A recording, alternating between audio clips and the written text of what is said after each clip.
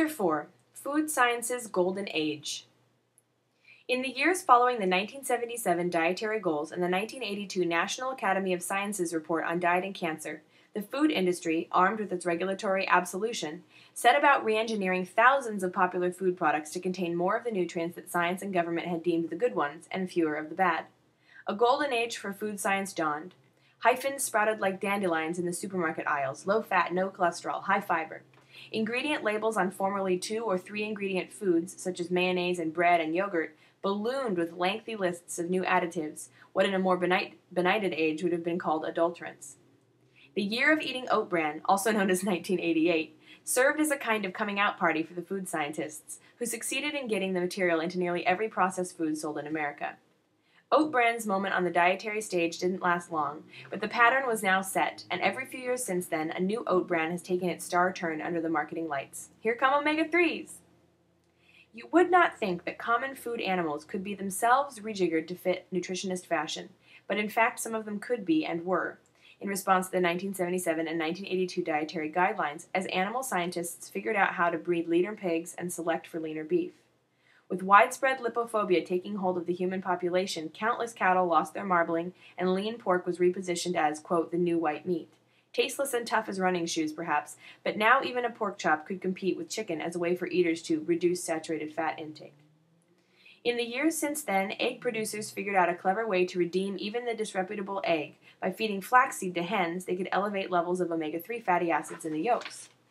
Aiming to do the same thing for pork and beef fat, the animal scientists are now at work genetically engineering omega 3 fatty acids into pigs and persuading cattle to lunch on flaxseed in the hope of introducing the blessed fish fat where it had never gone before into hot dogs and hamburgers.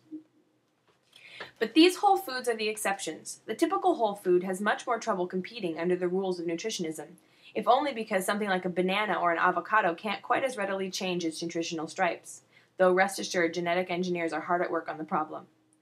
To date, at least, they can't put oat bran in a banana or omega 3s in a peach.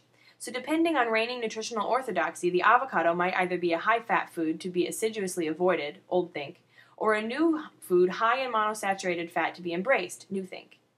The fate and supermarket sales of each whole food rises and falls with every change in the nutritional weather, while processed foods simply get reformulated and differently supplemented. That's why when the Atkins diet storm hit the food industry in 2003, bread and pasta got a quick redesign, dialing back the carbs, boosting the proteins, while poor, unreconstructed potatoes and carrots were left out in the carbohydrate cold. The low carb indignities visited on bread and pasta, two formerly traditional foods that everyone knows, would never have been possible had the imitation rule not been tossed out in 1973.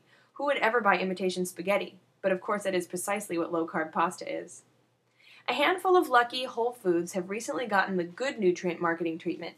The antioxidants in the pomegranate, a fruit formerly more trouble to eat than was worth, now protect against cancer and erectile dysfunction, apparently, and the omega 3 fatty acids in the formerly just fattening walnut ward off heart disease. A whole subcategory of nutritional science, funded by the industry and, according to one recent analysis, remarkably reliable in its ability to find a health benefit in whatever food it has been commissioned to study, has sprung up to give a nutritionist sheen and FDA approved health claim to all sorts of foods, including some not ordinarily thought of as healthy. The Mars Corporation recently endowed a chair in chocolate science at the University of California at Davis, where research on the antioxidant properties of cacao is making breakthroughs, so it shouldn't be long before we see chocolate bars bearing FDA approved health claims. When we do, nutritionism will surely have entered its Baroque phase. Fortunately for everyone playing this game, scientists can find an antioxidant in just about any plant based food they choose to study.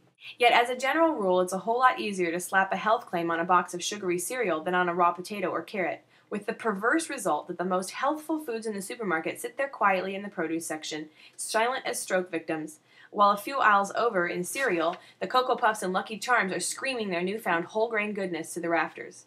Watch out for those health claims.